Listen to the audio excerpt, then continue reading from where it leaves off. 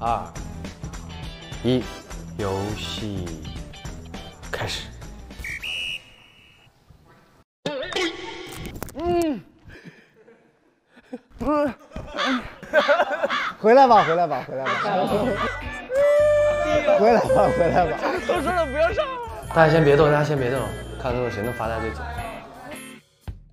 你连发呆都赢不了，你还能赢什么？黎明旭其实已经进入睡眠模式了。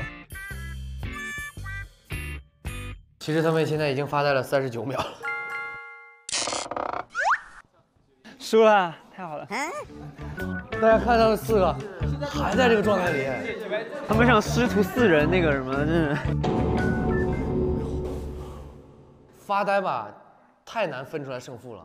所以其实这一个赛道的名字呢，叫做憋笑赛道。导演组来上视频。嗨，大家好，这里是舞动频道，不要换台啊！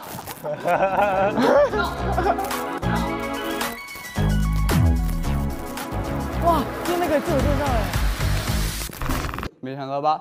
还是我。还是我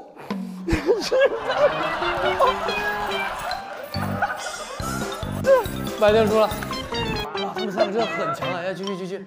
叮叮当，叮叮当，铃儿响当。Hello，大家好，我是出生于十二月二十五日，圣诞圣诞麋鹿。不不可能不笑，就是给大家多损呢！你们说你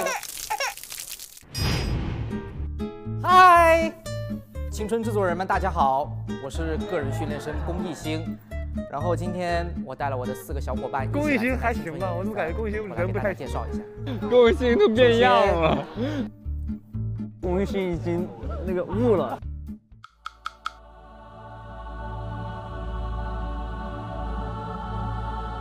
我也没用哎。还有一个自我介绍视频啊。大家好，我是来自瑞策娱乐的邱丹峰，今年我二十岁了。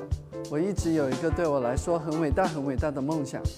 五岁时，姐姐就每天带我刚刚的是我们看电视节目。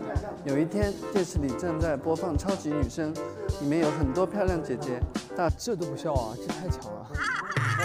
我感觉这自我介绍视频对他们来说都没有任何的作用，要不我们来上大招好不好？这样，来点炸的，来，再给你放一个。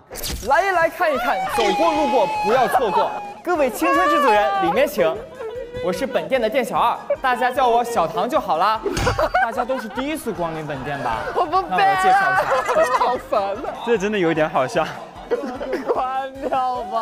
好，我们恭喜龚艺兴获胜，他成为了我们发呆赛道的冠军。